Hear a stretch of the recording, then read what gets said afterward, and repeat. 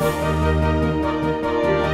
shoot a TV series called Seventh Street Theater. It's different. It's not necessarily the and providentially on. Fantastic Louis are just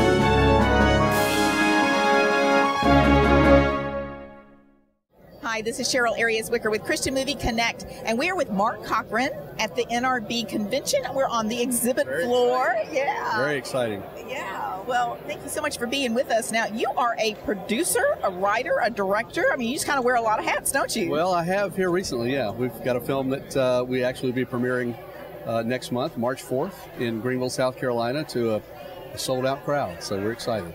Okay, so uh, tell us what the name of it is. The name of it- name of it is First Do No Harm. Uh, it's a pro life short film, 17 minutes.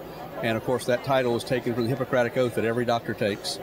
And uh, there's a great irony there, of course, if an abortion doctor is actually killing babies when he has uh, taken an oath to do no harm. So. Good. So, uh, tell me uh, how the storyline of the movie goes. Well, it's a uh, it's an interesting concept. What we did is we take a school shooting, like what happened at Sandy Hook, and we juxtapose that with the death that occurs in an abortion clinic. And we take a school janitor who's not a, they've been able to have children. He and his wife have been barren for seven years, and so he's adopted all the kids in the school. He loves them, they love him. And when a school shooting occurs, it becomes very personal for him.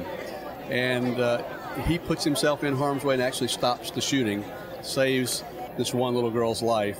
And I won't tell you anymore because there's a twist. But Uh, there's he got to be a twist. He ends up in an abortion clinic later and starts to put, in his mind, put together these two scenarios and and realizes there's a great similarity here and a great, actually, inequity and hypocrisy uh, that, that that we allow these two things to occur and we don't see them as synonymous. You know. So, do you have uh, some pro life organizations that are behind this project? Well, we we are actually working with uh, a number of pro-life organizations. One is called uh, Piedmont Women's Center. It's a local uh, pregnancy center in our in the upstate of South Carolina, and uh, as well as Nightlight Christian Adoptions. Now that's a, that's a national, even international organization, and uh, in we'll be at their gala in LA in March, uh, showing our film there. So we're really excited about that. Just two weeks ago, I don't know that we've talked about this, but just two weeks ago, we brought on um, John Waller. John did music for Fireproof and Courageous. He heard about our, our project, and he's got a new uh, new album out called Life is a Gift. He's given us his title track to use in the film. Oh, fantastic. We're really excited about that. John will be at our premiere doing a three song mini concert for everybody. We just shot a music video for him Monday uh, of that song, which he'll be using on the road all over the country to promote the film as well. So a lot of really neat things have, have happened for us. So. So, this is a short film. Are you expecting to make a, a full feature from it? We are. Uh, there's been talk about that even before we started shooting the short. We had some folks with a, a very large Christian studio approach us and say, "We want to talk to you about doing a feature." And I said, "That's on the back burner."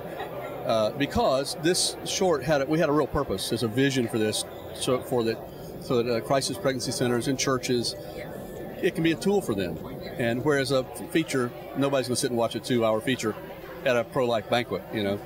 So my heart was to produce this short so that it can be actually used and and and they can have it as a, a tool to use for what they're trying to do. So. Fantastic. Well, so nice to talk with you. How can people find out more information about this Well, movie? they can go to our website. It's fdnhfilm.com. The first letters of First Do No Harm, fdnhfilm.com. The trailer's there. Uh, there's also a donate button there, so they can help us. We are, we're still quite in arrears in terms of funding, but that's fine. The Lord will bring it uh, in His time. Uh, so, and there's a lot of videos on there. I did a video every day on set, uh, interview with cast or crew to kind of tell people what, how, where we were going, what was happening. Uh, so there are a lot of little things on there. Some endorsements from people. R.C. Sproul Jr., Ligonier Ministries is one of our big endorsers and is involved in the project. So uh, have fun. Just go there and, and take a look around. Well, thank you for being with us. And thank you for tuning in to Backstage. Tune in again next week. We'll have another great interview for you. This is Cheryl Wicker.